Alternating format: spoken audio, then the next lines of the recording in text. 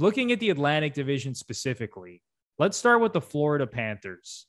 Okay. So, the big fish, obviously, the best player acquired at the trade deadline was Claude Giroux. Okay. Pending unrestricted free agent. Still a really good player. Dude just won MVP at the All Star game. I know it doesn't mean a lot, but he's 34 years old and he still has a lot left in the tank. He's not the Claude Giroux from five years ago, but this guy's still a good player. Um, and they gave up a first round pick, third round pick, Owen Tippett, who they drafted 10th overall in 2017. So that that entire package they gave up for for a rental.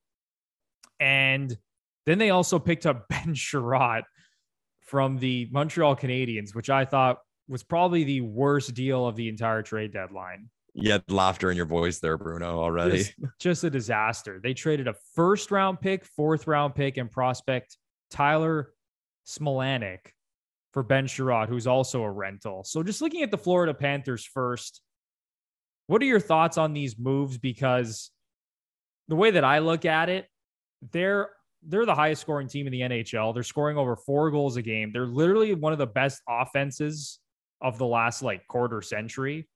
Mm. And they picked up Claude Giroux, and it, I'm you know it's going to help them score, I guess, some more goals. But does that really matter for this team? And now they just lost Aaron Ekblad, who's yes. up with a with, with an injury. He's on LTIR. Ben Chiarot sure as hell isn't going to fill his shoes. So I don't know, man. What are your thoughts on what on what this Panthers team did?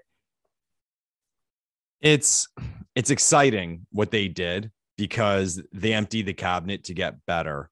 Now, if I'm not mistaken, they don't in the next 3 seasons now after what they've done, they do not have a first round pick and they have one second round pick. So one pick in the next two rounds uh, over the next 3 seasons. And there are people quick to point out that the NHL should put some rules in with regard to that. Like the NBA has rules that you can't just like clear out the cabinet of draft picks to get better now. But I look at Florida's situation, and we can get into this later with other teams and where the Leafs fall here. But this is a year for Florida. And I, I don't mean this to sound condescending, but it's the Florida Panthers. Okay. It doesn't come very often that they have an opportunity like this. Heck, it doesn't come very often for many teams, let alone a very small team like the Florida Panthers. Okay. Things are gelling well. Guys they picked up are having great years like Bennett and Duclair. So I appreciate them going for it. I really do. It makes it more exciting for everyone watching. But this may come back and punch me in the face, but I don't see it the Ben Chiarot deal was to me a total panic. It was that thing of everyone's telling you what your problem is, and maybe you know what your problem is and you want to address it. And you just did like that obvious thing that everyone thought you were going to do, and you went overboard trying to accomplish it. Jay Fresh, uh, I love Jay Fresh on Twitter. Anyone not following him, you got to follow him. He posted uh, some videos of Ben Chiarot during the Leaf series last year because he was shitting on Ben Chiarot and what was traded for him. And the take coming back the other way was, well, you got to watch what he did in the playoffs against Toronto. You have to watch that to really judge him. And that's what Florida's after. So Jay Fresh took the time to cut every play into one video that Ben Chiarot was involved in whether it was in the offensive zone, the defensive zone, laying a hit. It was like 30 or 40 minutes, I mean, seven games of every play he was involved in. I kid you not. I kid you not. Every third to fifth video was a mistake. Was him missing an assignment or not getting the puck out or getting beat. I'm not going to beat it on the bush here. And I've watched the guy live a lot, being from Ottawa. The canadians are in town a lot. I go to quite a few games. I don't think he's very good. I think it's a compliment to call him average and to see what they traded for him. It's crazy. It's crazy. And, and I think it's that thing of doing the obvious move that everyone's telling you to do and not having the balls or the brains to be maybe a little creative. Because I'll, I'll put it this way people can talk about a need and addressing a need. Any team in the NHL, any team in the NHL, adds Ben Chiarot, does it really make them better? Like No. what what like what is he doing to your lineup? Like how like how you mentioned, okay, Giordano, and yeah, let's pump the Leafs. Like Giordano won a Norris Trophy a few years back. Giordano going into any lineup, not only do you add Giordano, you're pushing guys down the lineup, which betters your depth. Like Ben Chiarot, like where would where would I ideally want to see Ben Chiarot on the Leafs? I don't know. He's Like, maybe um, a fifth or sixth defenseman on the. I was gonna say like I'm not pushing out Rielly, Brodie. You know what I mean? Like what are we talking about here? You know what it is, Lepore? I think fans, especially Montreal Canadiens fans, because they came at me for this as well for ripping the Chiarot deal. I released a video on TikTok and YouTube, and I, I was just I couldn't believe that the Panthers gave up what they did for Ben Chiarot. I think they have these these memories of him, you know, whether it's pushing around Auston Matthews. And you know when you you know when it cuts to commercial break and you see like those slow-mo replays of like you know Somebody- whether it's a dude like laying a hit or yelling at the ref or chirping somebody and for whatever reason I don't know what it is these Habs fans specifically think that Ben Chiarot was this integral part of their run to the Stanley Cup final. To piggyback off of what you said, how Jay Fresh posted those videos, just to go over his stats against the Leafs in that seven game series with Chiarot on the ice, the Montreal Canadiens were outshot by 55 shots throughout the series and had a minus three goal differential. So an average of what is that? Eight a game. They were outshot 125 to 70 Yeah. with Ben Chiarot on the ice against the Toronto Maple Leafs. And then the entire playoffs, Lepore, the entire 22 game playoff run for the Habs, Ben Chiarot with him on the ice, the Habs were outshot by 81 shots and had a minus 10 goal differential. yeah. Like this is a this is a number five or six defenseman who shouldn't be And- playing more than 15 or 16 minutes a night. And think about that deeper for a second, Bruno. That's not us taking a sample from the regular season. That's a playoff sample of a team that went all the way to the final. They were winning games. So he had numbers that poor while Montreal was winning games. Horrible, man. Horrible. That's a great stat, man. Yeah. So, you know, for the people who are are claiming that again, like he was this integral part of the Habs playoff run, wake up. Please just wake up and look at the numbers. Watch the guy play. I get it. He's a big dude. He's 6'3, he's 220, he's physical, he plays hard. That's all great.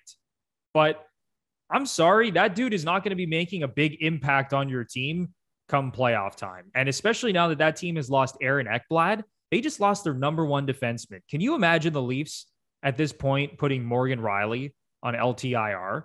That would be a devastating blow to this team. So I, I am very interested to see how this Florida Panthers team comes out of this over the next month or however how- however many games they have left. There's 20 games left in the season, something Yeah. around there. I, I'm very interested to see how this goes because they just lost their number one defenseman. They acquired Ben Chiarot, who, looking at the numbers, is going to actually make their D-core worse. And they have no one to fill Ekblad's shoes. They picked up another forward, even though they lead the league in goals per game. So again, I think Florida's a really good team, but I, I don't think they totally addressed the area of need that would have made them a better team.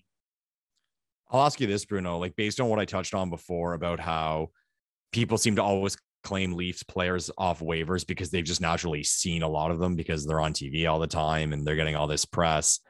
Could that have been the case here? Is Mont- is Montreal like Montreal as a team as an as and as an organization, do they benefit? Did they benefit in this situation that everyone knows Ben Chiarot because yeah, a lot of because Montreal is a popular team that we naturally know their D-core. Had Ben Chiarot played for the Nashville Predators and a similar deal was made, would they have, would Nashville got have gotten the same return as Montreal based on just the exposure and loudness he gets out of playing for the Montreal Canadiens? You absolutely nailed it, Lepore. If that Habs team had lost in the first round to the Leafs, there is no way in hell people are viewing Ben Chiarot the way that they view him. And there's no way in hell he's being traded at the deadline for a first, a fourth, and a prospect.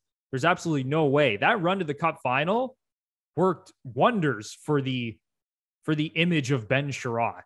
Because if the Habs go out in, in the first round in five games, six games, even if they lose in that game seven, there's no chance people are looking at Ben Chiarot like they look at him right now.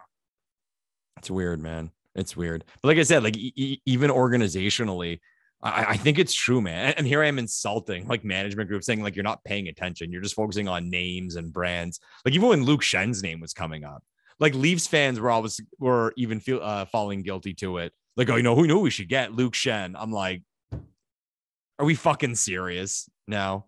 Because he's getting pumped now because he's having like an okay season. Like, give me a break. We had we had him the first years of his career when he was like at most fleet of foot, and we trashed him more than anyone. Oh, we want him now when he's older and washed up again because the name because he played for the Leafs at one point. Everybody knows his name and like thinks something of him. It's hilarious. Yeah, the just the the psyche and how people think about a lot of these players is so interesting, and I think it really does come down to how much exposure do these players get? Which teams do they play on? Do they play on a big market team and a lot of people know their name? Did they have a, a you know a strong run in the Stanley Cup playoffs recently?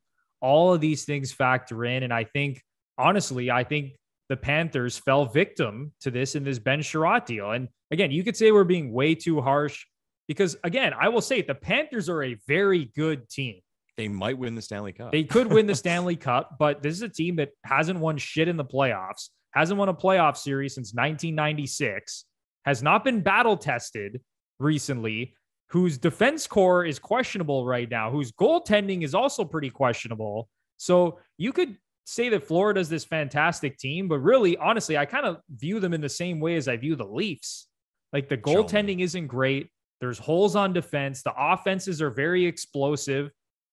I, I think it. I, honestly, if I was the Leafs, I'd want to play Florida in the first round of the playoffs instead of Tampa. I w- I wasn't sure if I would have the balls to say that out loud, but I was thinking the same thing. Like, I don't want me, anything to do with Tampa. Yeah, give me Florida. Give me Florida. Totally. I, will ask you this: so the way it stands now, I guess would Florida play? I mean, let's say let's say it ends up being Florida Boston. How would you feel about that series? I think Boston would be totally live to win that series. And and yeah, the reason yeah. I say that is because I, I look at the Leafs and the teams that they have had trouble with in the playoffs recently. It's these defensive minded teams that play tight, that yeah. get good goaltending, can score timely goals. That's not a very good matchup for the Florida Panthers. Yeah. It's and almost Boston, like the Panthers and the Leafs need each other. Like they need to play each other because one of them would finally win a playoff series and they have such similar styles Whereas, like, you get the Leafs against Tampa. I think that would be terrible for the Leafs because Tampa, phenomenal defensive team, Andrei Vasilevskiy, star power. Yeah. And then same thing with Boston.